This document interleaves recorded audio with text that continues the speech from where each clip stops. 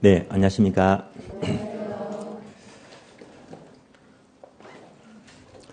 자, 오늘 교재는요, 74페이지 봅니다.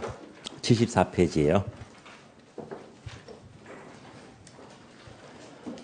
자, 차트 3장이죠. 부동산 특성과 속성입니다. 어, 특성은 매년마다 한 문제가 꼭 나오니까요. 아, 주 중요합니다. 다만 특성은 학교는 전체를 전부 다 끄집어냈기 때문에 어, 첫 술에 배부를 수가 없어요. 까다로운 부분입니다. 먼저 어, 특성을 보시면 아래 박스가 있죠. 박스 종류부터 먼저 볼게요. 자, 부동산 특성 크게 두 가지 토지와 건물인데 건물은 무시하시고요. 토지만 보시면 돼요. 어, 토지는 두 가지가 자연적 특성과 인문적 특성입니다. 제목 그대로 보시면 돼요. 자연적 특성은 자연 그대로 지니고 있는 특성이 되고요. 다음에 인문적 특성은요. 인간과 부동산과의 관계에서 비롯되는 특징입니다. 어, 자연적 특성은요. 종류가 아홉 가지죠. 그러면 5번까지만 공부를 하시고요. 6번부터 다 버리세요. 시험에 안 나옵니다. 자, 5번까지인데요. 1번부터 4번까지는 어, 첫자만 동그라미 하시면 돼요. 부동성 부자, 부정성 부자, 영속성 영자, 개별성 개자 합치니까 부부 연계가 돼요. 부부가 둘 다 어리고 연계래요. 부부 연계하시면 되고요. 여기다가 인접성만 추가로 공부를 하시면 돼요. 다음에 인문적 특성은요. 항목이 다섯 가지인데 3번까지만 공부하시면 돼요. 어, 1번요. 용도의 다양성 첫자 용자 동그라미 2번요. 병합 분할의 가능성 병 동그라미 3번은요. 끝에 보니까 위치의 가변성이죠. 가변성에서 가짜 동그라미 합치니까 용병가 이렇게 돼요. 자, 지금부터 부부 연계, 용병가 이것을 하나씩 봅니다. 어, 그러면요, 어, 종류 봤으니까요. 자, 이것이 어떻게 출제가 되고 있느냐. 어, 제가 지난주에 어, 교재 첫 페이지에 기출표를 다 붙여 오라고 했죠. 기출표를 보시면서 출제 경량 한번 더 확인해 봐요.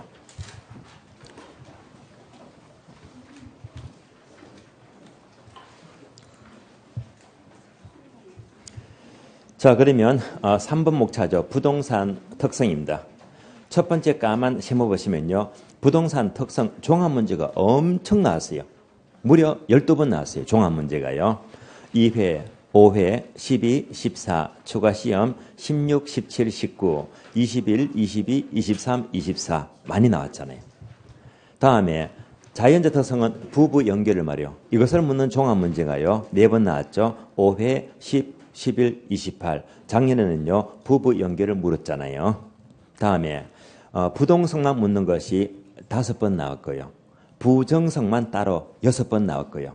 영속성 두 번 나왔고, 인접성 두 번 나왔고, 지역성 한 번 나왔고요. 또 인문적 특성은 용변과 세 가지를 말이요. 이걸 묻는 것이 두 번 나왔고요. 또 용도의 다양성만 세 번 나왔거든요. 엄청 나왔잖아요. 그러니까 매년마다 한 문제 이상은 무조건 나왔습니다. 자, 출제 경량 분석이었고요. 그러면 어, 교재 보시면서 오른쪽 페이지 봅니다.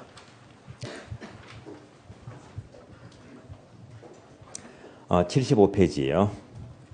먼저 토지의 자연적 특성, 부부 연결을 하나씩 볼게요. 그러면 자 부동성만 묻는 문제가 다섯 번 나왔잖아요. 상당히 얘도 출제가 잘 되고 있습니다.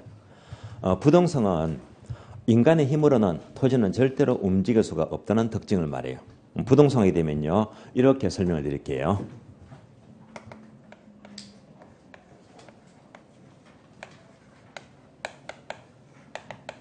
자, 부동성 때문에 위치가 나타납니다. 예를 들어 볼까요?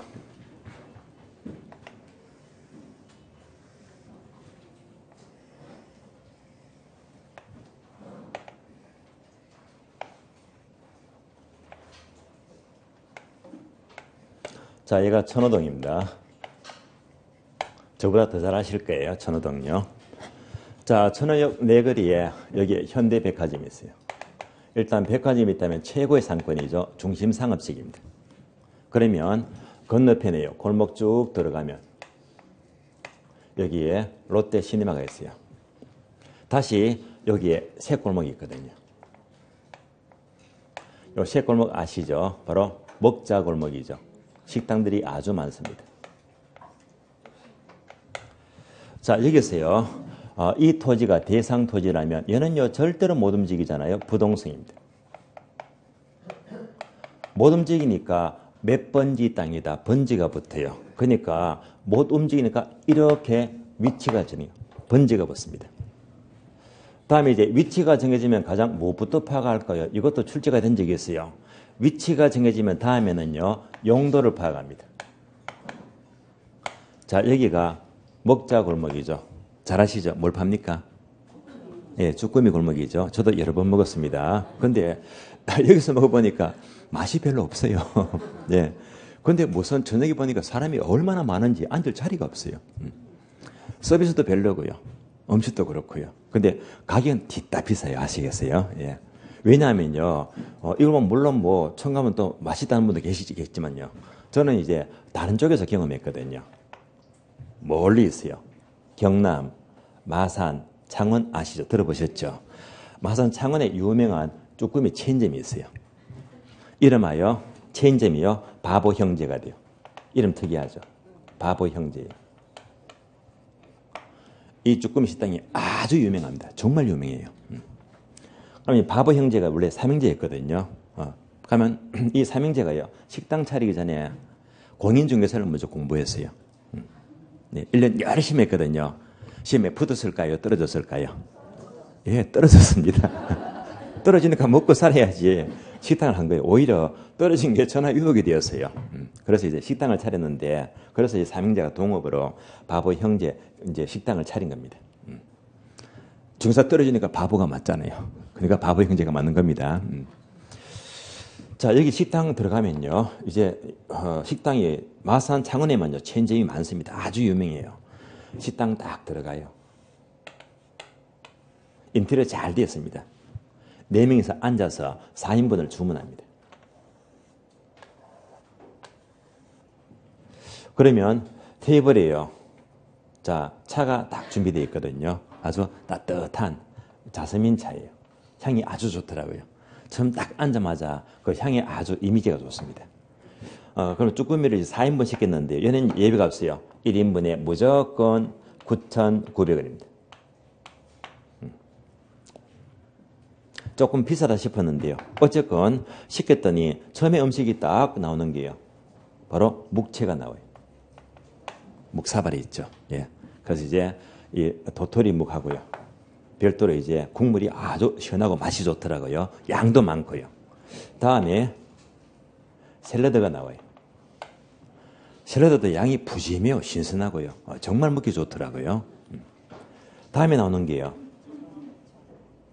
전이 아니고요. 피자. 피자가 나와요. 예. 자, 이 접시가 큰데요. 이 큰 접시에 피자가 그대로 이만큼 큰 게 나옵니다. 대신에 아주 얇아요. 예. 먹기가 아주 좋더라고요. 예. 게다가 치즈 곁들여 가지고요. 고소한 맛에 제가 너무 좋아하는 맛입니다. 그래서 저는 얘만 계속 먹거든요. 맛이 너무 좋아요. 음. 그리고 마지막에 메인 메뉴가 이 쭈꾸미가 나옵니다. 좀 매콤하죠. 해서 덜어서 밥을 비벼 먹습니다. 음. 그런데 이 메뉴들을 보니까 기가 막히게 배합을 했어요. 예.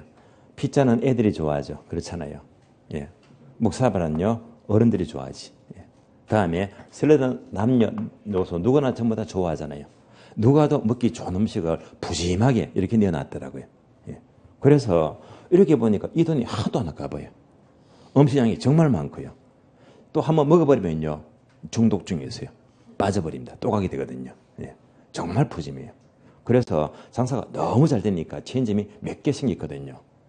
그런데 무슨 고집인지 마산 창원 이상으로 어, 체인점을 전국화하지는 않았습니다. 만약 전국화되었다면 큰돈 벌었을 거예요. 여러분 치킨 교촌 치킨 아시죠? 유명하잖아요. 어, 이것도 원조가 대구잖아요. 여기서부터 해서 전국화시켰잖아요. 그래서 이것도 어, 전국 체내했다면 정말 큰돈 벌었을 건데요. 그래서 이제 여기서 맛이 워낙 좋으니까 사람들이 이것 보고요 벤치마킹을 해요.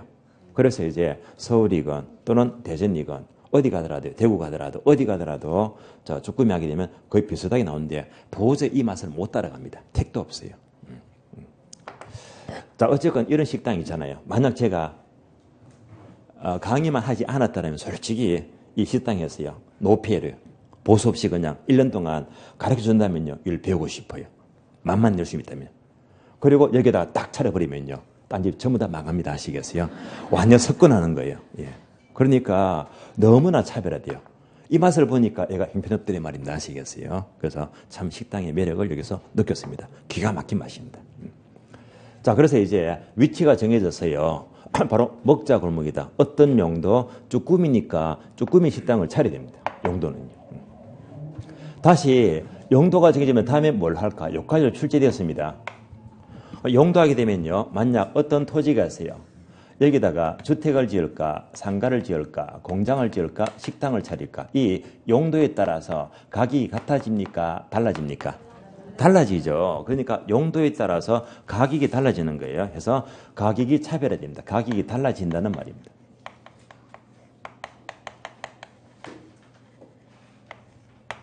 그래서 부동성 때문에 위치가 정해져요. 다음에 용도를 파악하자. 이에 따라서 가격은 달라진다. 이대로 연결하시면 돼요.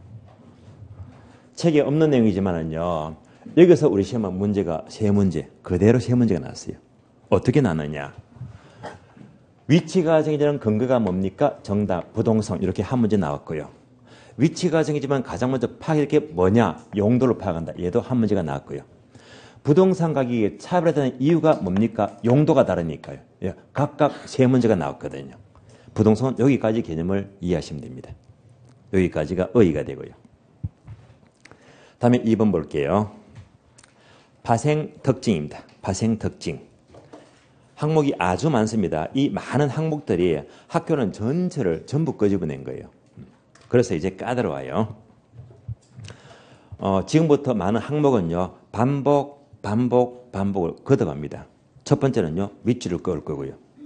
두 번째는요. 페이지를 적어드릴 거고 세 번째는 출제가 잘 되는 건 동그라미 쳐드릴 거예요. 네, 자꾸 반복합니다. 자, 지금부터 먼저 밑줄을 그어볼까요?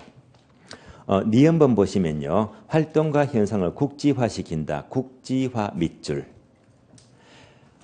또 밑줄 하세요. 지역 분석의 필요성 밑줄. 디귿번 내려가요. 두 번째 줄 보시면요. 밑줄입니다. 외부 효과 발생 밑줄. 리얼번요. 임장 활동 밑줄. 정보 활동 밑줄. 내려가세요. 불안전 시장 밑줄. 추상적 시장 밑줄. 다음 페이지 봅니다. 비어번이죠. 활동과 현상이 지역적으로 특화되면서 세 번에 된 밑줄입니다. 부분 시장 밑줄. 부분 시장. 시업번 내려가세요. 밑줄 하세요. 입지 선정의 영향 밑줄. 요까지만 아시면요. 완벽합니다. 자, 밑줄 껐죠. 이제부터 또 반복합니다. 페이지를 적을게요. 페이지요. 그러면 다시 니은번 보시면 지역 분석의 필요성, 지역 분석이 있죠. 페이지를 적어줍니다. 489페이지예요. 여기서 지역 분석이 나와요. 이것을 가져온 겁니다. 다음에 디귿번요. 외부 효과 화살표. 자, 페이지는요. 저를 이제 청색이나 빨간색 가지고 검직하게 하늘에 확 띄어도록 적어주면 좋아요. 찾기 좋게요. 외부 효과는요.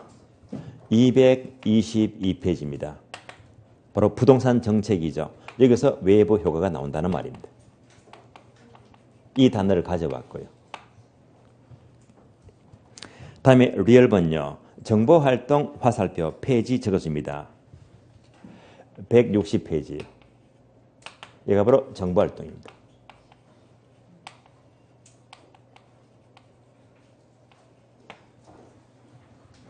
다음에 내려가세요. 불안전 시장 화살표 페이지를 적어볼까요? 152페이지예요. 여기서 불안전 시장이 나옵니다.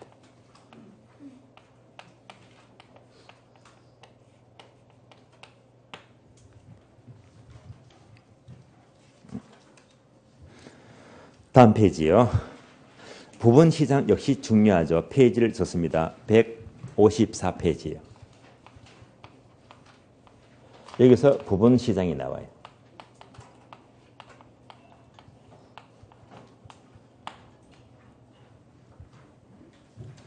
다음에 시업번요. 자, 입지 선정 화살표 페이지는요. 165페이지입니다. 여기서 입지 선정이 나옵니다.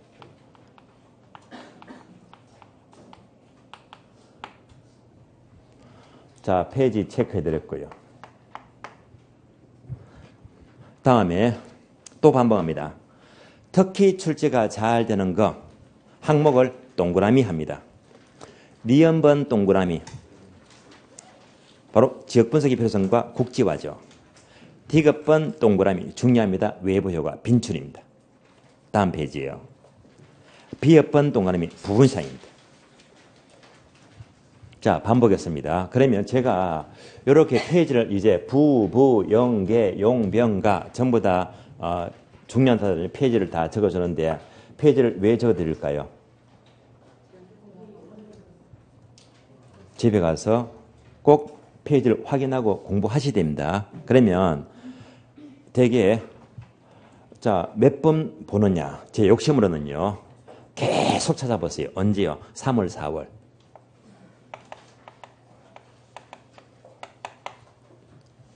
계속 찾아보시고요. 제 욕심으로는요. 한 10번쯤 찾아보면 좋겠습니다. 10번, 10회도. 음. 찾아볼 수 있겠어요? 10번. 보세요. 대답 없잖아요. 네. 안 보겠다 이 말이잖아요. 찾아봐야 됩니다. 예. 제가 알아요. 페이지 딱 적으면요. 검증에 적어라 해야 돼요. 두 달 딱 지나면 이 중에 절반은 안 찾아봐요. 제가 답답해 죽겠어요. 예. 그래서 가능한 10번 찾아보세요. 그러면 매주마다 한 번씩 본다고 가정합니다. 그러니까 일요일 날, 일요일 날 수업 없잖아요. 요거 다 찾아보는데요. 무조건 2시간 더 걸립니다. 아시겠어요? 시간 많이 걸려요. 예. 그래서 매주마다 찾아봐도 이제 한 달 반 남았잖아요. 여섯 번밖에 못 봐요. 음. 근데 이제 열 번은 더 보는 거잖아요. 음. 이런 사례가 있어요. 제가 3년 전인데요. 그 당시 천안에서 수업을 하면서요. 자, 핵심 단어, 페이지 딱 적어주고 열 번 보세요. 그러면 시험 합격합니다. 라고 못 박아버렸거든요. 그러니까 어떤 분이 정말 열 번 보더라고요. 음. 처음 열 번을 본 사람입니다. 예. 그 사람이 나이가요. 40대 중반이고요. 남자분입니다. 음. 공부를 처음 하시는데요. 어, 사업을 했대요. 인테리어 사업입니다. 예. 장판 도배, 이런 말이에요. 근데 사업을 조금 크게 했더라고요. 천안에서요. 저를 이제 LH 공사 끼고요. 여기서 이제 아파트 짓잖아요. 어, 계약 맺어가지고 1년 동안요. 여기서 짓는 거 전부 다 장판 도배 들어간대요. 큰 사업입니다. 음. 요거 하면요. 1년에 연봉은요. 1억 5천 넘어간대요. 연봉 세잖아요. 근데 감히 그 연봉 억대를 포기하고요. 포기하고 중개사를 1년 공부하더라고요. 음. 능력은 좋더라고요. 1년만 딱 쉬고 합격한 다음에 다시 이제 계약은 따면 되니까요. 음. 능력은 탁월하더라고요. 그래서 감히 억대 연봉 포기하고 중개사를 공부하더라고요. 그런 사람은 목적이 분명합니다. 예. 목적 있는 공부가 돼요. 음. 그런데 막상 처음 하게 되면요. 중개사가 얼마나 어려워요. 그렇잖아요. 음. 그래서 1월, 2월 감을 못 잡았어요. 3월달 재수업 듣다가 10번 보시했더니 합격한다니까 거기서 눈이 번쩍하면 정말 10번 보자 해서 이때 10번을 본 거예요. 10번 딱 보자마자 5월 첫, 첫 수업이었어요. 저를 찾아왔어요. 꼭꼭 인사합니다. 교수님, 아, 정말 고맙다면서. 그러면서 제가 오늘 전심을 꼭 대접할게요. 음. 일식 세대를 먹으면서요. 이분이 얘기합니다. 음. 10번 볼 때까지는 반신반의했대요. 막상 10번 딱 보니까요. 필이 팍 꼽힌대요. 음. 필이 온대요. 음. 합격 보인다. 음. 학교는 잡았대 말입니다. 그래서 10번 딱 보니까 전체가 이렇게 앞에 다 연결이 되거든요. 체계가 잡힌다. 그래서 피해를 느끼면서 학교는 뿐만 아니고요. 다른 과목도 연결되더래요. 공헌한 법을 알겠더래요. 그래서 이때부터 자신감을 팍 얻고요. 그대로 달리니까 그의 동착적 좋은 점수로 합격했습니다. 그래서 그런 의미에서 열 번 바라보는 겁니다. 아시겠어요? 예. 자, 반복 잘 해주시고요. 그럼 이제 특히 출제가 잘 되는 거 어, 동그라미 세 개 쳤죠. 니은번 보니까 국지화 시키고 지역 분석이 필요하다. 지역 분석 나왔습니다. 다음에 디귿번 보게 되면요. 외부 효가 나왔습니다. 다음 페이지 보시면요. 부분 시장 나옵니다. 이런 단어가 특히 빈출입니다. 설명을 드리겠습니다. 한꺼번에 다 연결되니까 묶어서 보도록 할게요. 부동성입니다.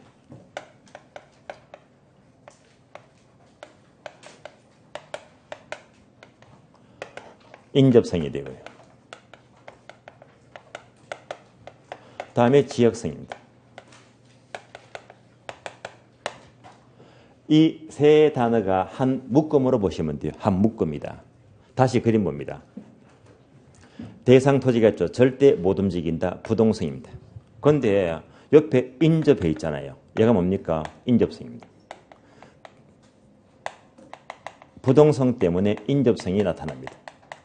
또 인접성이 점점점 점점점 확대가 되면요. 하나의 큰 지역을 이룹니다. 그래서 얘가 바로 지역성입니다. 결국 부동성 때문에 지역이 나타난다는 말입니다. 그래서 이 지역성은 단어가 굉장히 중요합니다.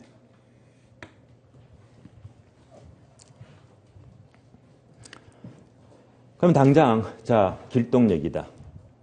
여기 상권하고요. 천호동이다. 천호 상권하고요. 상권 자체가 레벨이 다르잖아요. 음. 아마 얘가 우수할 거예요. 백화점이 있으니까요. 무슨 차이다? 지역 차이. 예. 예. 그래서 항상 분산은요, 이 지역 차이가 굉장히 중요합니다. 이것을 똑같은 말로 바로 국지성이다라고 불려요. 따라서 활동과 현상을 국지화 시킨다는 것은 지역화 시킨다. 똑같은 말입니다. 이러한 지역 특성, 지역 차이를 잘 분석하자. 얘가 바로 지역 분석입니다. 감정평가에서 지역 분석이 필요합니다.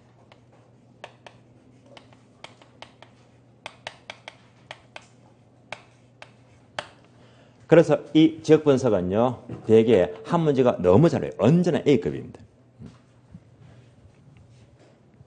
다음에 국지성이 반영된 시장, 이런 시장을 그대로 국지적 시장 이렇게 불러요. 그러니까 국지적 시장 바로 지역적 시장입니다. 이것을 똑같은 말로 부분 시장 이렇게 불러요. 따라서 부분 시장 나오잖아요. 여기서 국지적 또는 부분 시장은 지역마다 시장이 세 번이나 된대요.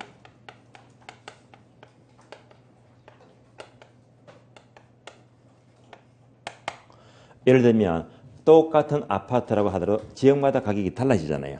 음. 그러면 지방은 대개 25평 아파트가 2억 안팎입니다. 어, 똑같은 평수 아파트 25평 강남이면요 10억 넘어갑니다. 지방은 2억인데 강남은 10억입니다. 똑같은 아파트가요. 무슨 차이지? 바로 지역 차이다. 결국 부동산 가격은요. 같은 아파트라고 하더라도 지역마다 가격이 달라지고 가격이 세 번에 되고 시장이 달라집니다. 따라서 부동산 시장은요. 결국 지역적으로 가격이 달라지고 있습니다. 얘가 바로 부분 시장입니다. 지역적 시장입니다. 다음에 외부 효과 올라가죠. 얘도요. 웬만하면 원래 한 문제 나와야 됩니다. 28회 음. 때안 나왔잖아요. 항상 A급입니다. 얘도 한 문제가 잘 나와요. 외부 효과입니다.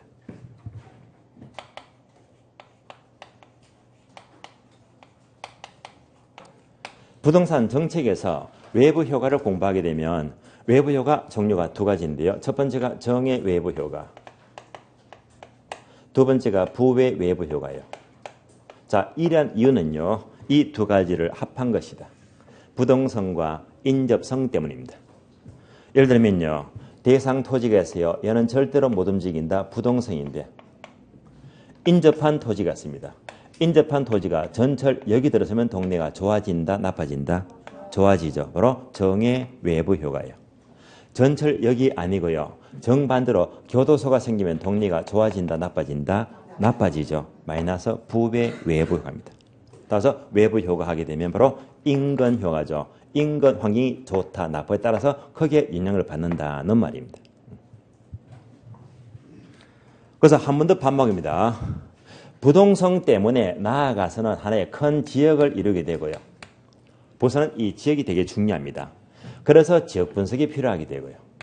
또 지역마다 가격이 달라지는 부분 시장입니다.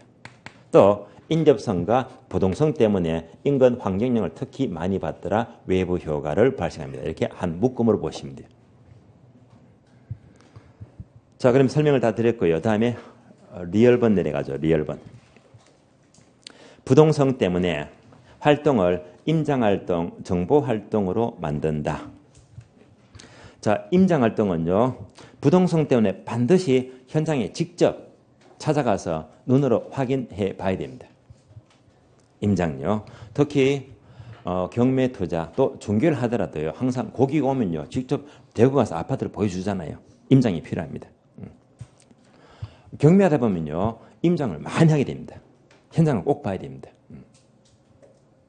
제가는 모 평생교육원에 경매 원장이었어요. 이번은요. 경매 원장 운영을 하면서 경매 운영을 하면서요. 지방에서요. 전국적으로 임장을 다닙니다. 주 5일 중에요. 주, 아, 일주일 중에서 주 5일은요. 자, 지방이었어요. 인천으로, 청주로, 전라도, 또는 부산, 포항, 전국으로 임장 날이거든요. 임장 많이 할수록 투자를 많이 한대 말입니다. 거의 한 줄이 5일이 예, 거의 뭐 임장이니까요. 음. 그래서 수박도 많이 합니다. 음. 뭐 때문에? 부동성 때문이다. 이렇게 임장하게 되면요. 임장도 여러분들 하게 되면 그냥 하시면 안 돼요. 대개 임장하게 되면요. 임장을 낭만적으로 하세요. 만약 자 저기 지방에 임장 갑니다. 전라도 어느 지역이다. 그러면요. 여기 딱 가자마자 간 김에 전심은요. 유명한 맛집을 찾아요. 맛집을요. 예. 관광하는 것도 아닌데 유명한 맛집을 갑니다. 맛있게 먹고요. 현장 가보고요. 예. 또 어, 숙박을 일했으면요. 아주 또 시설 좋은 또 모텔이 있죠. 여기 또 들려요. 여기 딱 들려서 좋게 잠을 자잖아요. 이런 임장은요. 결코 좋은 임장이 아니대 말입니다. 음. 진정한 임장은요. 맛집에 가면 안 돼요. 음. 내가 가고자 하는 이 지역에 동네에 허름한 식당이 있죠. 거기서 전심을 먹어야 됩니다. 허름한 식당 가면요. 간, 간판이 자, 아주 오래된 간판이 있잖아요. 그럼 주인도 나이가 50, 60이 넘었잖아요. 당연히 손님이 없을 거 한가하잖아요. 거기서 밥 먹으면서 이제 물어보는 거예요. 이런 사람들이 누구보다 이 동네 사정을 다 알거든요. 아, 그 집 아들이 누구 누구더라. 뭐, 그래서 뭐 어떻게 사정을 다 알거든요. 예. 정보를 확실히 할 수 있거든요. 음. 잠을 자도요, 모텔에서 자면 안 돼요. 예. 어, 주변에 가까운데 허름한 연숙이 있죠. 예. 연숙요. 여기서 살면서요, 이런 동네가 오래됐잖아요. 오래됐기 때문에 또 대화하다 보면요. 예. 정보가 처음부터 나옵니다. 음. 또 임장 갔다. 음. 하루로 안 돼요. 왜? 한 번 투자하면요. 몇 천만 원, 몇 억 들어가는데 내가 큰 돈 벌려고요. 음. 절대 하루가 아니고요. 내가 이 지역의 주민이다는 착각으로 며칠 더 있어야 됩니다. 성복을 내면요. 그래서 내가 직접 여기서 학교도 한번 걸어가 보고요. 전부 다 걸어가고 왕래 다 보면서 시설 다 보면서 이런 것들이 진정한 임장, 이고 진정한 정보활동입니다. 음.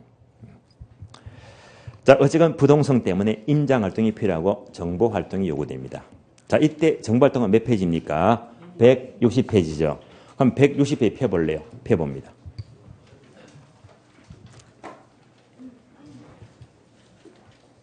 (160페이지니까) 정보활동 목차가 보여요 안 보여요 목차가 안 보이죠 그런데 효율적 시장은 목차가 보이잖아요.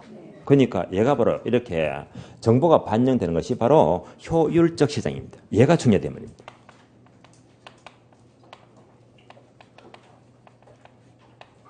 그래서 이것을 공부하라고 페이지를 이렇게 적었다 이 말입니다. 특히 부동산은요 정보에 민감합니다. 어떤 정보가 적각 지첩시 가치에 반영이 된다. 이런 시장이 바로 효율적 시장입니다. 예를 들면 자 오늘 아침 신문을 보니까요. 자 이런 기사가 떴다고 가정합니다. 서울시 외곽 지역에 그린벨트가 있는데요. 이 그린벨트가 두 달 뒤에 앞으로 5월 1일부로 전면 풀릴 것이다. 라는 기사가 뜨게 되면 자 개발지르죠. 이때 땅값은요. 5월 1일부터 올라갑니까? 지금부터 올라갑니까? 지금부터 올라가는 거예요. 뭐 때문에 정보가 적각 가치에 반영됐기 때문이다. 이게 바로 효율적 시입니다. 이것 때문에 정보 활동이 필요하다는 말입니다. 음. 다음 내려가세요. 불안전 시장과 주상적 시장인데 얘는요. 따로 설명을 안 드릴게요. 왜? 2주만 지나면요. 시장을 상시해 보거든요. 공부하게 되면 저절로 이해될 거니까요. 일단 모두가 부동산과 연결하시고요. 다음 페이지 부분 시장은 설명을 드렸고요. 시업번 입지 선정의 인양입니다. 그러면 입지 선정은요. 무엇을 말하느냐? 입지 선정을 한다는 것은 적어도 자, 이 단어 두 개 정도 떠올리자. 부동산의 적절한 용지를 찾거나 또는 용도를 찾는 것입니다.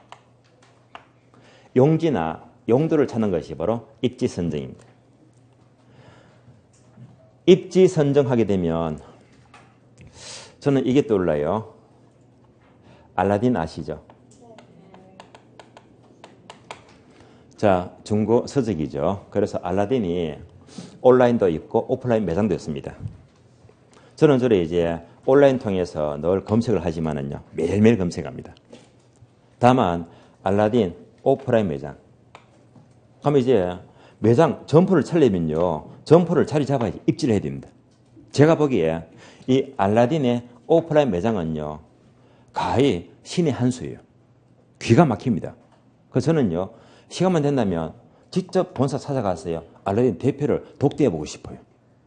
만나서 물어보고 싶어요. 아니 어떻게 그렇게 입지 선정을 잘 하십니까? 기가 막힙니다. 음. 그래서 이 전략이 기가 막혀요. 그러면 이 알라딘의 이 오프라인 매장이 있죠. 이것은요, 입지 선정 전략이 딱 두 가지입니다. 지하 1층입니다. 지하 1층. 더하기 항상 큰 서점과 경쟁을 해요. 음. 중구 서점인데. 예를 들면 강남 봐요. 강남 네거리요. 교보 빌딩이 있죠. 서점 엄청나잖아요. 엄청납니다. 음. 이 건너편에 쭉 가시면 건너편에 여기 알라딘이 있어요. 그런데 이 알라딘 지하 매장입니다. 항상 지하입니다. 그런데 이 매장은요. 교보와 잽도 안 되는데 비교가 안 되는데 여기 딱 들어가면요. 입구가요. 이쯤밖에 안 돼요. 너무 좁아요. 예. 그러니까 이 두 사람이 서로 내려 올라온다. 부딪힐 만큼요. 좁더라고요. 답답해요. 들어갈 때부터 기분은 좋지가 않지만은요. 어쨌든 입구가 좁아요. 그런데 어, 지하는 꽤 크더라고요. 음. 그럼 지하 매장 어느 거는 왜 그러죠? 평수가 크잖아요. 큰 평수 지하는 거의 임대가 안 돼요. 그러니까 뭐지? 임대료가 싸다. 예. 싼 임대료예요. 음. 게다가 하필이면 왜 큰 서점 옆에 이렇게 경쟁을 할까요? 오히려 뭐 피해야 되는데. 예. 그렇잖아요. 중고책인데. 오히려 가까운데 항상 붙어서 경쟁합니다. 되게 다 그래요. 음. 그 이유가 뭐 때문에? 자, 기가 막힌 역발상입니다. 여기서 책을 사면요. 요즘요. 책값이 꽤 비싸요. 음. 해가 바뀌니까 책값 많이 올랐더라고요. 요즘 제가 사보는 책이 어, 대개 서적이 한 만 오천 원에서 만 팔천 원 합니다. 예, 책값이 비싸요. 한 권 사게 되면 대개 만 육, 칠천 원 하거든요. 음. 이렇게 사게 되면요. 이 책은요. 여기 가서 사게 되면 중고책은요. 두 권, 세 권을 사요. 충분히 세 권도 살 수가 있단 말입니다. 저 같으면 차라리 새 책 한 권 사느니 같은 책이 있다면 중고책을 세 권 사보겠어요. 이것도 깨끗한 책이니까요. 음. 얼마나 효율적입니까? 예. 그러니까 저는요, 여기서요, 책을 검색, 다 확인해 보고요. 괜찮지 항상 모바일에 메모합니다. 메모하고 다시 싹 건너왔어요. 책을 확인하거든요. 예. 그래서 이렇게 비싼 책 사는 게 부담이 되더라. 그래서 여기서 책 검색해서 여기서 살아 이 말입니다. 예. 귀가 막힌 전략입니다. 예. 그래서 자, 이 알라딘의 이 오프라인 매장의 입지 전략, 귀가 막힌 자, 전략이 보이더라고요. 음. 입지를 잘해야 됩니다. 이것이 모두가 부동성 때문으로 봐야 됩니다. 부동성 여기까지 이해하시고요. 다음에 바로 2번 내려가죠. 부정성입니다. 부정성 특성은요, 토지는 아무리 생산비를 투입하더라도 그 땅은 절대로 증가시킬 수가 없다는 특성입니다. 땅은 만들 수가 없어요.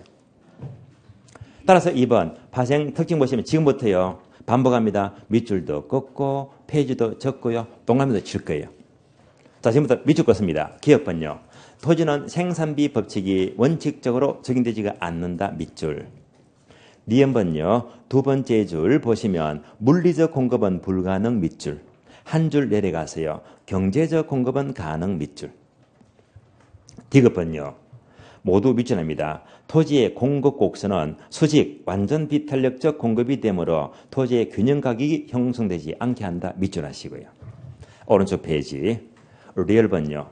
희소성의 근거 밑줄. 내려가세요. 토지 문제, 괄호 부족 문제 밑줄. 조금 끝에 보시면 지가 상승의 원인 밑줄. 비업번 내려갑니다. 사배성, 공공성 밑줄. 토지 공개념 도입의 근거 밑줄. 이영번 내려가세요. 집약적으로 이용 밑줄. 자, 밑줄 했고요. 다음에 반복합니다. 페이지를 체크해 드릴게요. 페이지. 기업번 보시면요. 토지는 생산비 법칙이 적용 안 된다. 생산비 법칙, 생산비에다가 적어주세요. 512페이지요. 512페이지.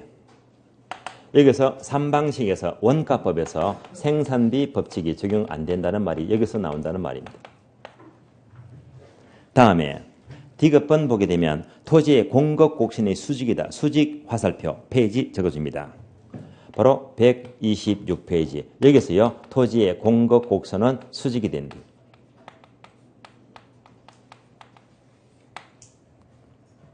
다음에 오른쪽 페이지 미음번 볼까요? 지가 상승 원인, 지가 상승 화살표 페이지 적어줍니다. 214페이지요. 여기서 바로 지가 상승 또는 지가구가 나와요. 요 세 가지만 찾아보시면 돼요. 여기까지만. 다음에 특히 출제가 잘 되는 것 동그라미 합니다. 기역번 동그라미, 니은번 동그라미, 디귿번 동그라미 세 가지가 워낙 중요합니다. 자 정리했고요. 설명드리겠습니다. 그러면 디귿번 먼저 볼까요? 토지는 공급 곡선이 수직이 됨으로써 균형 가격은 형성되지 않게 한다. 이것만 확실히 하시면요. 모든 걸 전부 이해할 수 있거든요. 자, 디귿번을 중심으로 설명을 드리겠습니다. 토지의 공급이 부정성 때문에 수직이 된대요. 그래프로 비교합니다.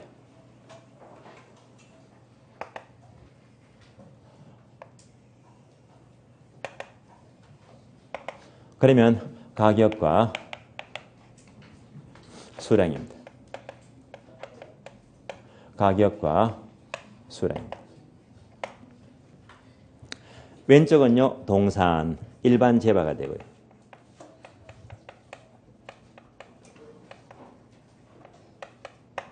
오른쪽은 부동산, 토지를 말해요. 그러면 일반 동산은요, 이렇게 수요가 움직입니다. 이렇게 공급이 움직인다. 둘 다 움직이더라. 그래서 둘 다 움직이면서 양자가 만나는 점, 일치하는 점에서 바로 시장 원리가 결정이 된다 해서 균형 가격 결정이 되고요. 다음에 균형 양이 결정이 된다.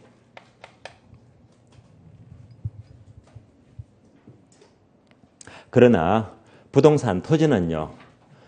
수요는 같이 움직입니다. 그러나 공급이 못 움직인다. 수직이 돼요.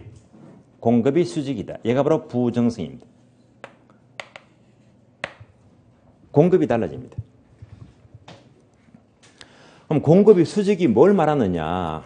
얘가 바로 수량이죠. 그럼 여기다가 이만큼 강남을 집어넣죠. 강남의 땅은 언제나 양이 한정이 되었잖아요. 강남의 땅은요, 아무리 자 가격이 상승하고 생산비를 투입하더라도 땅은 더 이상 증가시킬 수 있다 없다 절대로 증가 못 시킨다는 말입니다. 절대로 양을 증가 못 시키니까 언제나 수직이 되는 거예요. 절대 증가 못 시킨다. 이것을 이제 풀어서 보는 거예요. 첫 번째.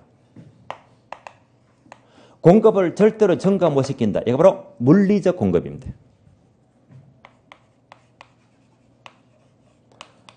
물리적 공급을 절대로 X 증가 못 시킨다. 얘가 바로 부정수입니다.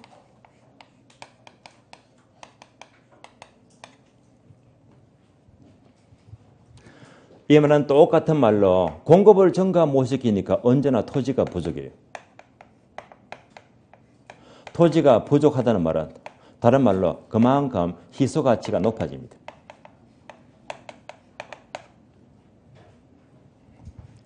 토지가 절대 부족하니까 땅값 올라가죠. 집가 상승, 집가구가 발생합니다. 투기를 말이에요.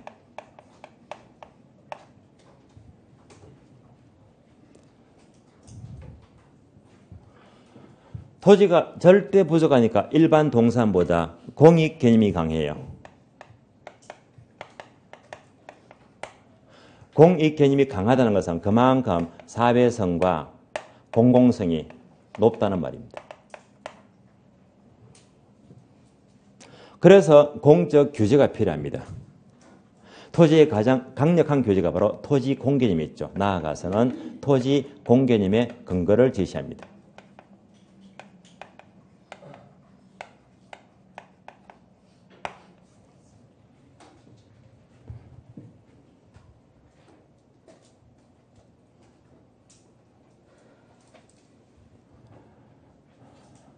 두 번째, 부정성은 토지 공급 곡선을 수직으로 만들어요.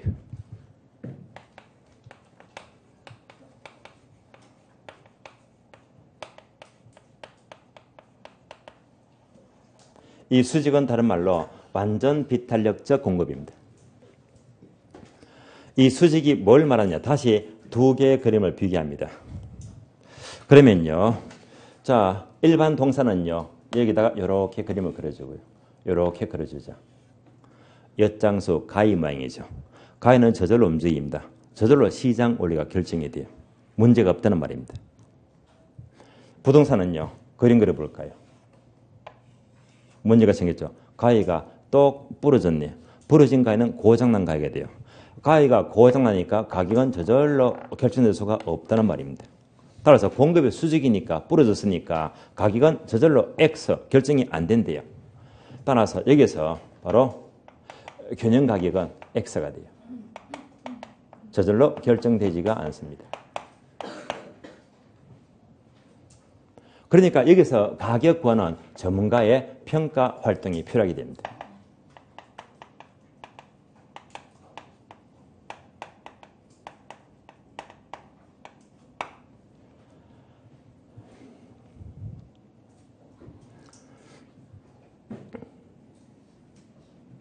세 번째요. 공급이 수직이니까 얘는, 얘는 절대로 증가 못 시키잖아요. 그러니까 움직이는 것은요, 수요가 이렇게, 이렇게 움직이겠네.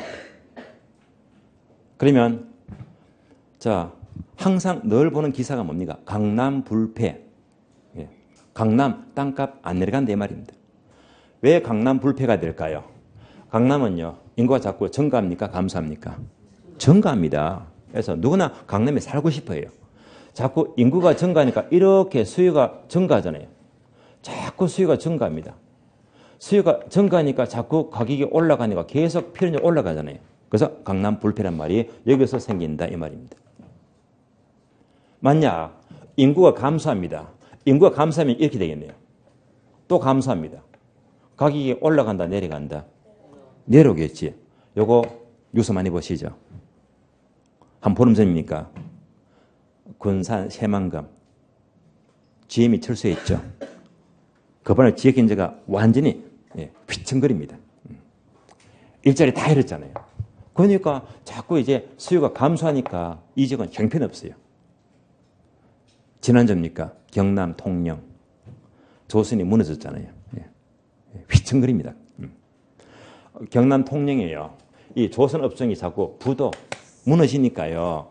일자리가 원래 되게 많았는데요. 일자리 많으면요. 그건 전부 다 이제 근로자들이 전부 다 원룸에 살아요. 원룸요. 통영의 원룸비가요. 월 50만 원에서 60만 원이래요. 거의 강남 수준입니다. 강남도 이만큼은 하거든요. 월 5, 60입니다. 그러니까 원룸이 이렇게 서울 못한 게 비싸다 이 말입니다. 뭐 때문에 수요가 많으니까요. 근데 이제 자, 조신이 무너지니까 이제 빠져나가요. 공실이 자꾸 자꾸 생긴단 말입니다. 빠져나가니까 원룸값 올라간다, 떨어진다. 떨어지겠지. 자꾸 떨어져요, 떨어져요. 자꾸 빠져나가니까. 그래서 기사 보니까요. 공실이 자꾸 생기니까 결국 한 달 원룸이요. 10만 원까지 나요. 10만 원요. 말도 안 돼요. 심각합니다. 이 정도로 뭐지? 그 지역 경제가 예, 휘청거린단 말입니다. 10만 원 말도 안 돼요. 결국 부동산은 뭐가 움직인다? 공급이 수직이니까 수요가 이렇게 움직이더라. 무슨 경쟁? 수요자 경쟁입니다.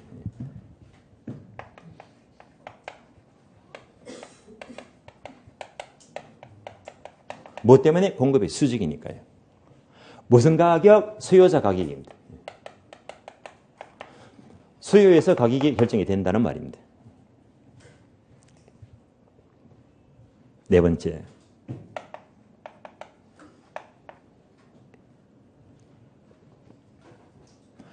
공급이 수직이니까 여기서 빗금 친 거 있죠.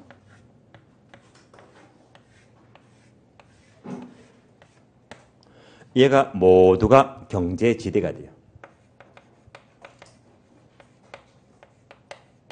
영어로 economic rent가 되고요. 그래서 공급이 수직이니까 100% 네모 모두가 지대를 발생합니다.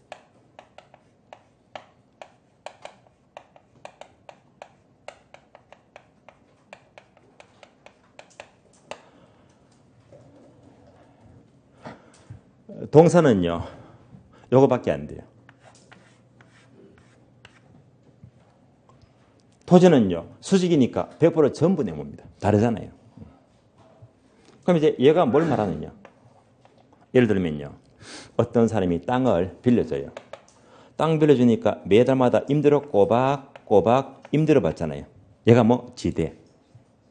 이때 받는 임대료 지대는 어떤 성격이지? 불로소득, 즉 잉여분입니다. 그러니까 소유자가요.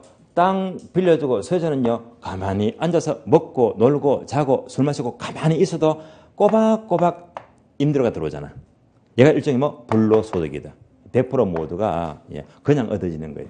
예, 일종의 불로소득, 잉여분의 성격입니다. 토지는 자 부정성 때문에 수직이니까 모두가 불로소득의 성격인 지대가 100% 모두가 발생이 된다는 말입니다. 이런 것들이 모두가 공급이 수직이다 여기서부터 비롯되고 있습니다. 조금 더 추가적인 설명은요 쉬었다가 다음 시간 이어서 계속 보겠습니다. 쉬겠습니다.